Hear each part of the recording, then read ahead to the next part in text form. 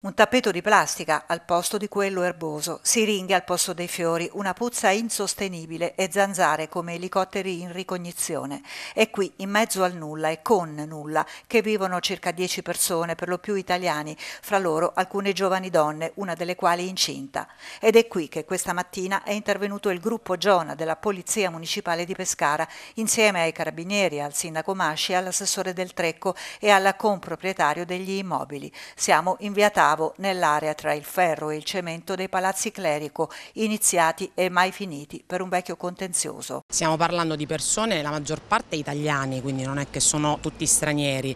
ma di persone che vivono qui tutto il giorno, che comunque si aggirano per il quartiere, le ragazze si prostituiscono sulla Tiburtina,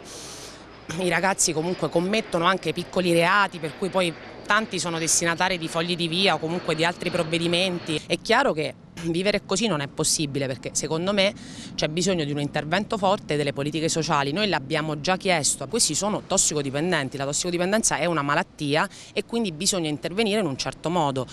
bisogna anche fare un salto di qualità e capire che ci sono anche altri eh, comuni d'Italia che magari hanno un'unità di strada per intercettare queste persone nel momento del bisogno e hanno poi una struttura sociale forte. Così è chiaro che rimarranno sempre nel quartiere, anche perché dal momento in cui questo quartiere si spaccia, perché questo è un dato oggettivo, è ovvio che vengono tutti qui, ma non sono solo loro perché loro sono quelli stanziali del territorio che stanno qui da anni la maggior parte. Il problema è tutto il via vai che noi vediamo di notte, il fine settimana una situazione veramente assurda. Quante persone avete trovato? Diciamo che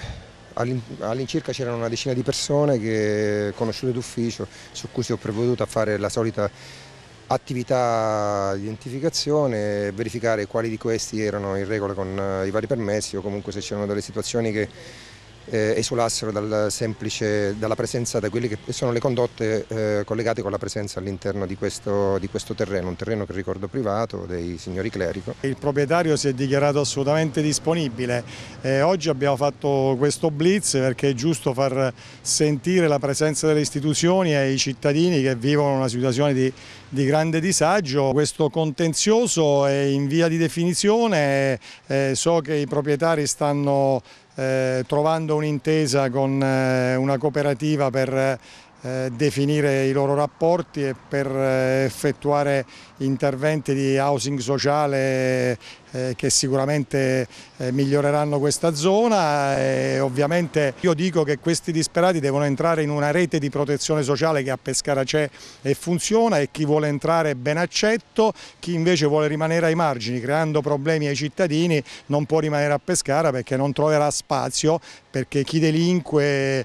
eh, chi crea problemi ai cittadini per bene deve andare via da questa città.